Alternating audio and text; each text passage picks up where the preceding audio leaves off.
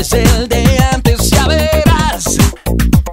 El sueño en ti, tu mente inconsciente procesa diferente.